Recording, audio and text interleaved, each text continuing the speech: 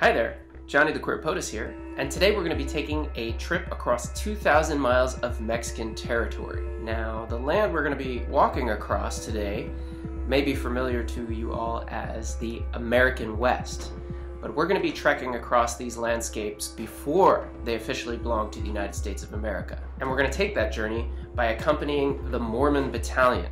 The Mormon Battalion marched 2,000 miles across Mexican territory to the state of California and by the time they arrived, it belonged to the United States. How did all this happen?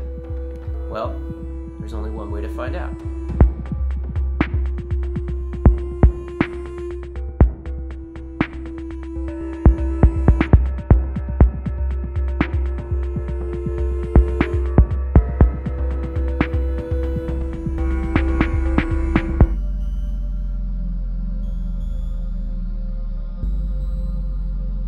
In the summer of 1846, a dragoon of U.S. cavalrymen rode across the southern plains of Iowa Territory.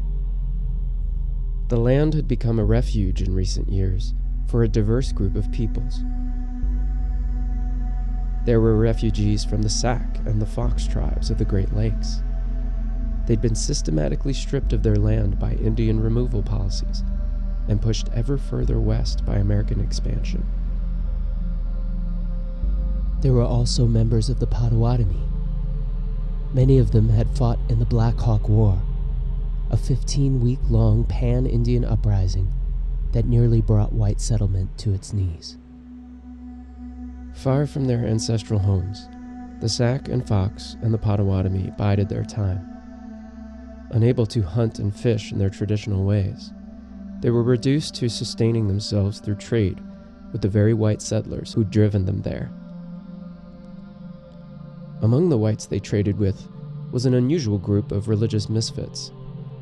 They too were refugees, chased from town to town across the whole American Midwest by angry mobs and cruel state militias. While many whites reviled them as evildoers, these folks called themselves saints. Most of us today know them as Mormons. Up until 1844, the Saints lived on the Illinois side of the Mississippi River, in a town they'd built called Nauvoo. For the last few years, the Saints traded with the Sac and Fox and Potawatomi to the west. The exchange of commodities gave way to the exchange of ideas and culture. Joseph Smith, founder of the Saints and chief prophet, had audiences with Sac and Fox chief Keokuk, with whom he shared the revelations of the Book of Mormon. Smith's book told stories of the Lamanites, who he claimed were the ancestors of the Native Americans, how they were once a great civilization that ruled the continent. Keokuk was pleasantly surprised at the important role Native Americans played in the saint's religious text, an unusual departure from most Orthodox Christian faiths. The time is close at hand when the Sac and Fox, along with all others, will once again become a righteous people and help the saints build a temple in Zion for the second coming of Christ. For a group of people like the Sac and Fox who are trying to preserve an ancestral way of life, Smith's plan for them was far fetched to say the least. To many, Old Joe, as he was known, and his strange followers remained little more than a curiosity. Nevertheless, the developing alliances between Smith and Keokuk did not fail to escape the notice of American authorities patrolling the frontier. A grand conspiracy is being entered into between the Mormons and the Indians to destroy all the white settlements on the frontier. Tensions were heightened as Illinois newspapers began printing salacious stories about the saints. Among such outrageous deeds as preaching polytheism and practicing polygamy came accusations of sinister and seditious plots. The fact that Joseph Smith was seeking the Democratic Party nomination for president in 1844 only fueled suspicion about a Mormon conspiracy. Finally, a rumor of a plot to assassinate the governor of Illinois gained circulation in local papers, and anti Mormon sentiment reached fever pitch. In the summer of 1844, Joseph Smith was arrested. While he sat in his cell writing clemency appeals to state and federal officials, a mob of 200 men marched on the jail where Smith was being held, demanding he be handed over. the jailers had no choice but to give in to the outsized mob, and Smith was murdered. From this point, threats of extermination against the Saints only grew louder. Smith's successor, Brigham Young, finally faced the tragic inevitability. Nauvoo would have to be abandoned. On February 4, 1844, the Saints crossed over the frozen Mississippi River to join the Sac and Fox and Potawatomi in Iowa. Taking only what they could carry with them, they headed west toward an uncertain future. Across 400 miles of scattered settlements, 20,000 Saints posted up for the harsh winters and scorching summers on the plains. This is where that dragoon of U.S. soldiers found them in 1846. But more on that later. The exodus of the Saints and the removal of the Sac and Fox and Potawatomi are just a few chapters in an anthology of tragic tales about the victims of American expansion. When 13 colonies on the east coast of North America declared themselves the first independent democratic republic in the Western Hemisphere, the hopes of all freedom loving people across the world were ignited. But for all the high minded rhetoric of its founders, the United States could never truly escape empire mentality. Whether it was the prospect of land and resources, or fear of European empires getting there first, the United States quickly became indistinguishable from the old system it was purporting to fight against.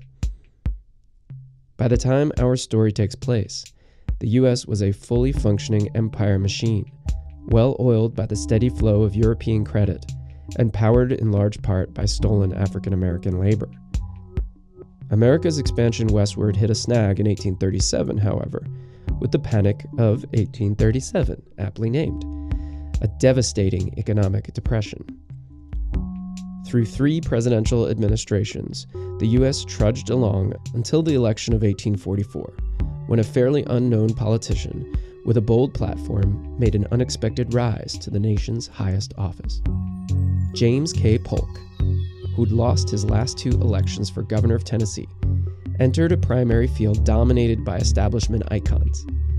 Without much to lose, Polk campaigned on the most unabashed and ambitious expansionist platform of anyone in the entire race. In a stunning upset, the dark horse surged ahead in the Democratic convention, taking his party's nomination and delivering a close but decisive victory against Whig dinosaur Henry Clay.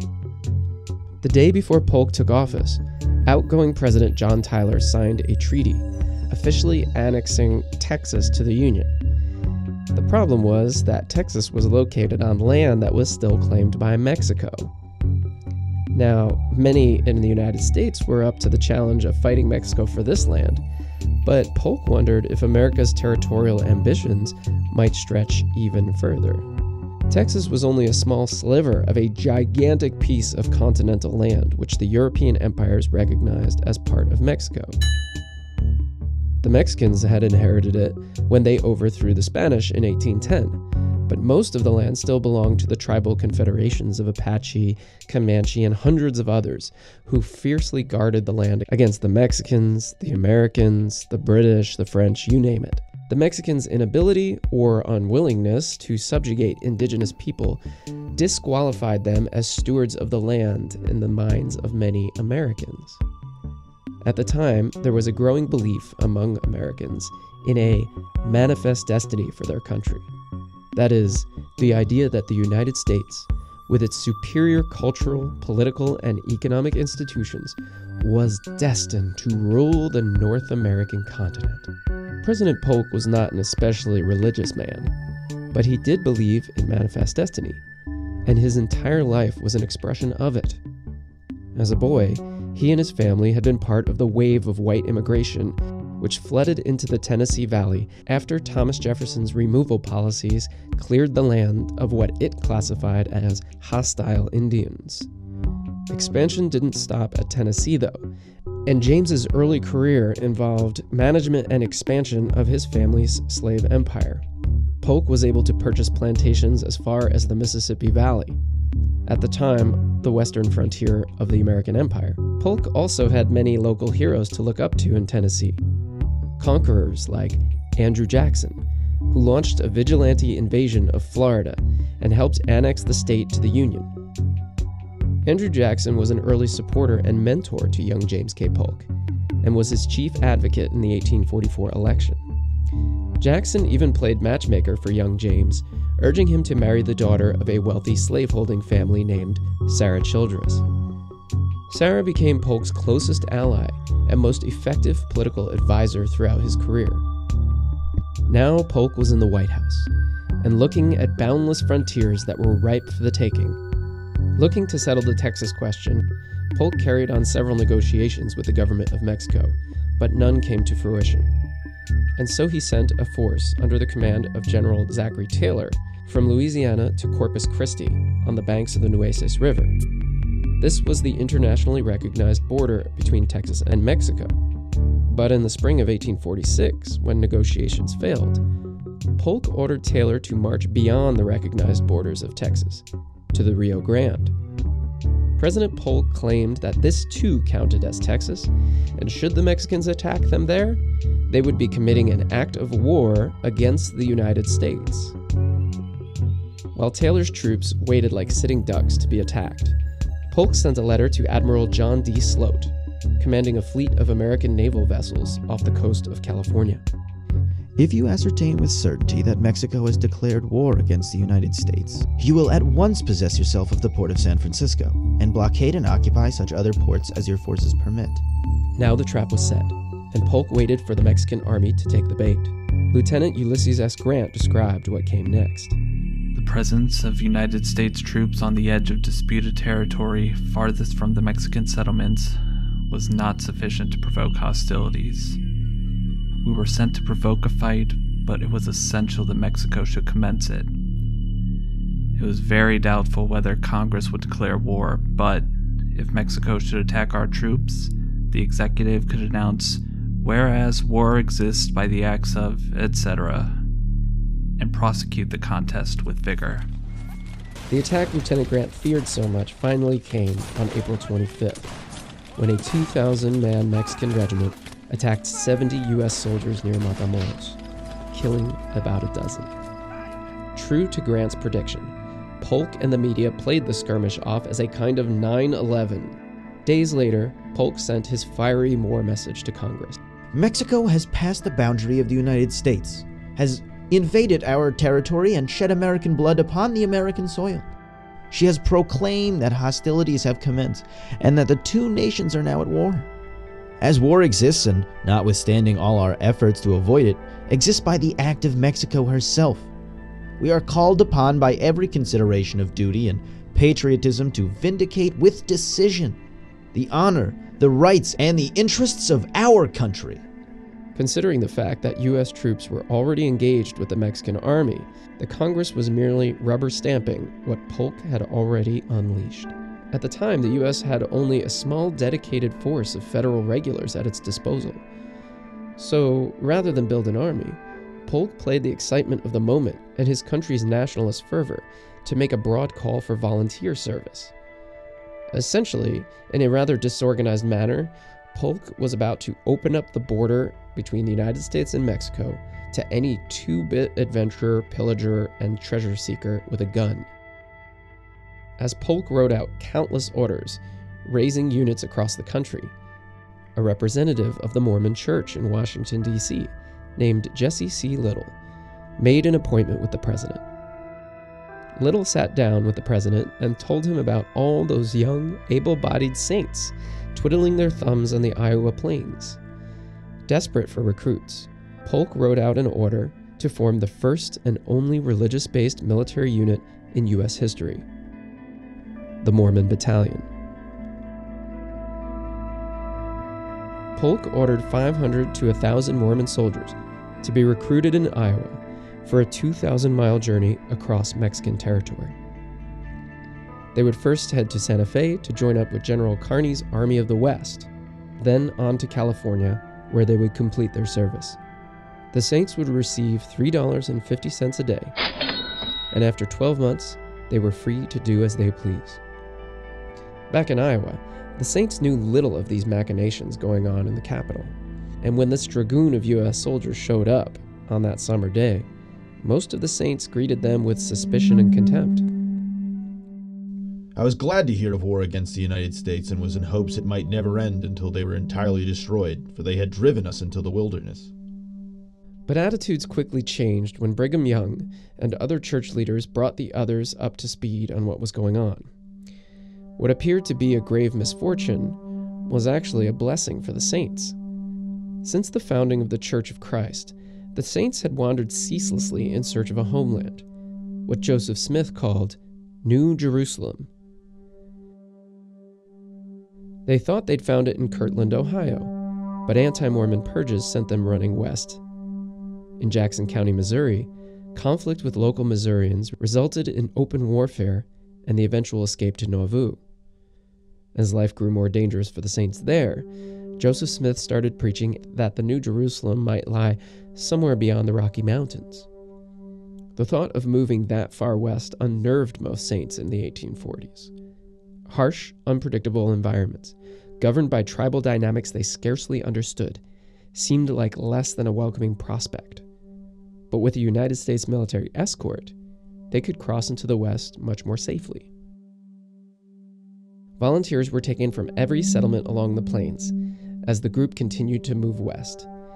In many of the settlements, the U.S. soldiers ran up against the vehement protests of women who refused to allow their husbands to be taken away from them. Thanks to their persistence, 31 women with 44 children were able to join the march officially as laundresses.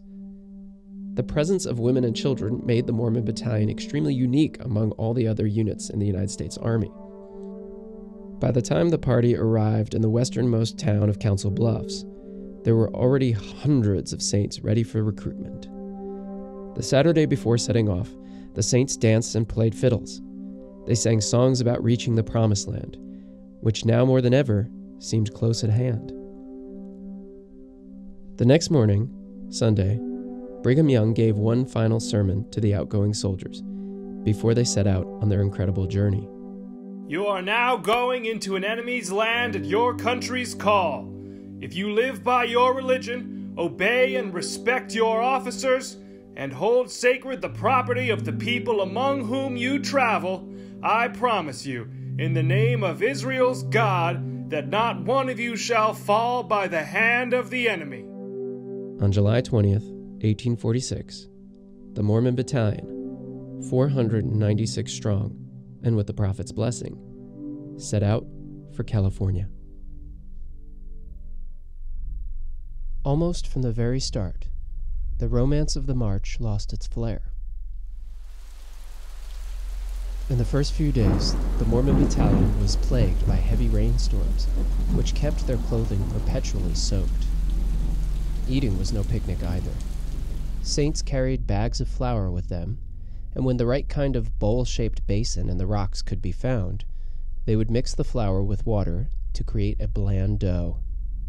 Placing the dough around a stick, they slow cooked it over a fire to create bread. Still, the saints could not live by bread alone. Passing local farms, the famished troops stole potatoes, plums, onions, and other vegetables much to the chagrin of local farmers. The cold and rainy days were punctuated by extreme heat, which one soldier described as hot enough to melt cheese. Unsurprisingly, sickness became the marchers' constant companion. Cholera, diarrhea, plagued the saints every step of the way. Only three days into the march, and the battalion experienced its first death. Private Samuel Boley died of an unnamed illness.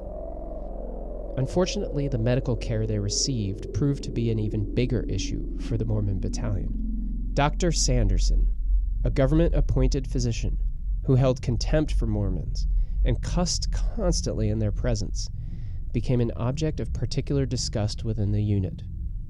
Besides his behavior and attitude, Dr. Saperston, as he became known, often prescribed a mercury supplement to his patients called calomel. Many pioneers took mercury pills like calomel on their journeys west to mitigate digestive diseases. In fact, scholars have even been able to trace the journeys of pioneers like Lewis and Clark by following mercury deposits left in their latrine pits. The problem was, the saints had a prohibition on mineral based medicines, and so they refused to take the pills.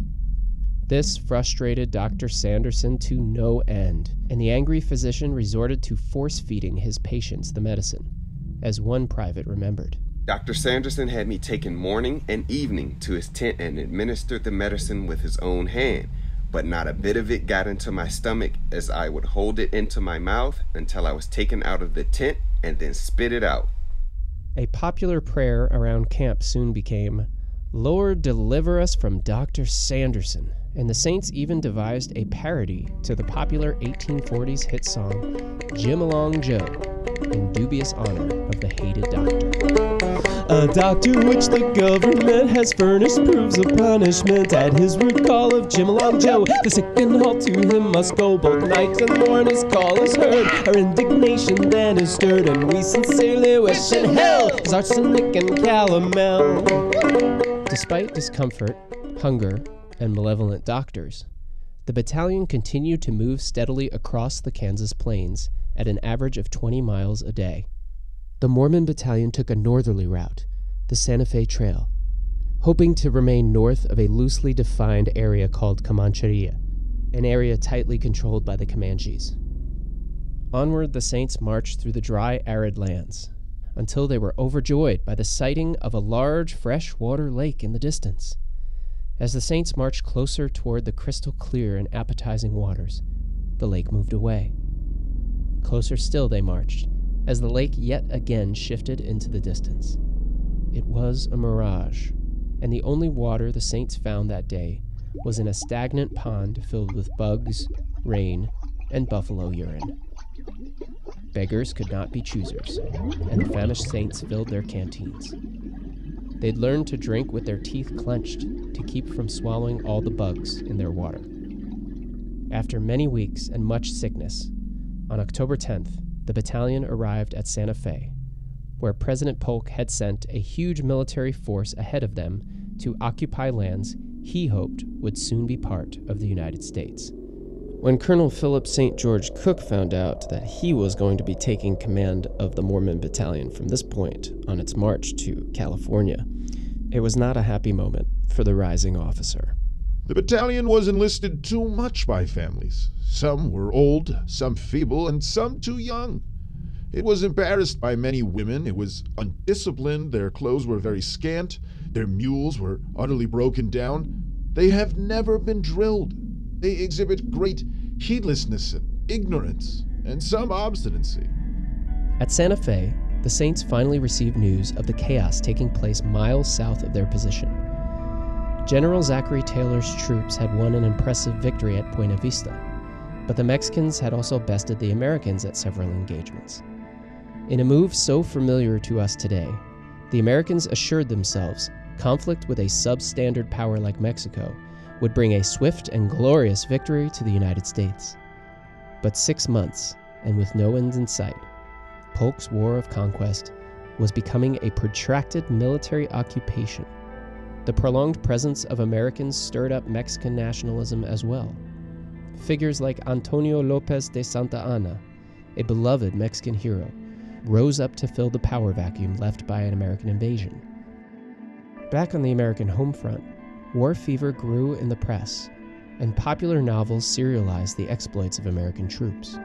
The Mexican Ranchero, a particular bestseller, told the story of a romance between an American soldier and a Mexican woman. Playing into the power fantasies of male soldiers, the book equated the conquest of Mexico with the conquest of a woman, and the idea caught on. In a mass meeting in support of the war, former Texas President Sam Houston called on recruits with an enticing proposal. Take a trip of exploration and look out for the beautiful senoritas. And if you should choose to annex them, no doubt the result of this annexation will be a most powerful. The theme of possessing Mexican women pushed countless thousands to sign up as volunteers for an adventure in Mexico. But these darknesses were often papered over by a cheering press and a growing sense in America's manifest destiny. Around the time of General Taylor's success at Buena Vista, Captain R.A. Stewart, a volunteer and ordained minister, sermonized on the white man's mission in Mexico. We are here to shed light and make the inhabitants over the dark borders embrace the blessings of freedom. The Anglo Saxon race was not only to take possession of the whole North American continent, but to influence and modify the character of the world. For those caught in the middle of the conflict, the blessings of freedom meant rape, pillage, and murder. Far off in the trenches of battle, soldiers like Lieutenant Ulysses S. Grant described atrocities committed by American troops. A great many murders, some of the volunteers and about all the Texans seem to think it perfectly right to impose upon the people of a conquered city to any extent, and then murder them where that can be covered by dark, and how much they seem to enjoy acts of violence too. I would not pretend to guess the number of murders that have been committed upon persons of poor Mexicans. The American soldiers themselves had a rough time of it losing 10% of their forces to disease, while 20% were maimed or killed in engagements with the enemy. As more news of the dreadful events began leaking out of Mexico, anti war sentiment grew back east. Soon, congressional investigations were opening up to look into whether President Polk had lied the American people into a disastrous and protracted war. A little known Whig congressman from Illinois named Abraham Lincoln took the floor of the House in 1847. He called for his colleagues to adopt a resolution investigating whether the exact spot where hostilities first broke out really did fall under U.S. jurisdiction, as President Polk continued to insist. Anxious to make a name for himself, the upstart Lincoln delivered a scathing rebuke of Mr. Polk's war. What I more than suspect already is that he is deeply conscious of being in the wrong that he feels the blood of this war, like the blood of Abel, is crying to heaven against him. Lincoln's protests fell mostly on deaf ears, especially far out west, where the Saints continued to march toward the Pacific. Only a few days outside of Santa Fe, the Saints were preoccupied with thoughts of hunger and thirst. They were overjoyed to reach the Pima villages scattered along the Gila River in December there they were able to trade some items, including the buttons on their clothes, for food. The Pima themselves were excited to encounter the Saints, for many of them, the first white people they'd ever seen. In contrast to the hunter clans of the Apache and Comanche, the Pima were an agricultural people, and most whites considered them to be friendly Indians. The Pimas are a friendly people. They were never at war with the United States. And as a matter of fact, often helped the Army fight off the Apaches and other warlike Indians. In the dry climates of what would one day be the state of Arizona, the Pima irrigated the river and produced crops of wheat, corn, beans, pumpkins, melons, and cotton. Thankful for the aid and comfort they'd received at the Pima villages, the Saints gave the Pima three ewes, the first they'd ever seen in their lives. By crossing through these lands yet untouched by white civilization, the Saints created the first trail along which thousands of pioneers would move during the great westward migrations later in the century. The Pima largely maintained friendly relations with the whites until high tech American farmers began irrigating the Gila River in the 1920s, drying up much of the Pima's water supply. The experience of the Pima is a sad reminder that even those who tried to live in harmony with the pioneers often received the short end of the stick in the end the Saints pressed on across the mountainous terrain on their way towards their final destination. When the Saints finally crossed into California a week later, they entered a land that had undergone a dramatic transformation. Back in June of 1846, around the time hostilities broke out on the Rio Grande, the American Pacific Fleet, acting on orders from the President, moved in to capture key settlements along the California coast. Meanwhile, in the north, a group of guerrilla soldiers under the command of General John C. Fremont came down from the mountains into the town of Sonoma on June 14th and captured it without firing a shot. There they raised the bear flag over the town square, which to this day remains the flag of California. What looked like an easy victory was only the beginning of a long and bloody struggle. Mexican leaders and generals regrouped and effected a fierce resistance against the American conquest. The battle for California raged on until January 8, 1847, when the last resistance fighters, known as Californios, were surrounded by U.S. troops and forced to surrender. Less than three weeks later, the Mormon battalion serendipitously arrived in a now American California. They spent the remainder of their 12 month service manning garrisons and forts and were finally decommissioned in the summer of 1847. By this point, the weary travelers were relieved. They had made a 2,000 mile journey, suffered minimal casualties, and just as Brigham Young had told them, not a single member of the battalion fell by the hand of the enemy, primarily due to the fact that the Mormon battalion had no contact with the enemy. Still, prophecy fulfilled. At the end of an unprecedented journey, the Saints had escaped the United States, only to find themselves once again in the United States. In the winter of 1848, after two sorrowful years, the exhausted Mexican and American governments signed the Treaty of Guadalupe Hidalgo, officially ending the war. Although the treaty did not give the United States dominion over all of Mexico, it did cede about 525,000 square miles of land to the United States, from Texas to California. And so the map of the United States, as we see it today, almost, is the map that James K. Polk helped to create. And this is the process that created the geography of our country, the process that created the southern border between Texas and Mexico. All of these stories and events took place on a continent very much different than the one you and I live on today. And as for the president himself, James Polk, who took the United States from sea to shining sea, completed the transition of America as a republic into America as an empire. Polk was not the first president to do this, and he would not be the last. Despite the tremendous success of James K. Polk's single term in office, Polk decided not to seek a second term. President Polk was exhausted. He had already shown signs of sickness toward the end of his term. Three months after leaving office, Polk died, the shortest post presidency in history.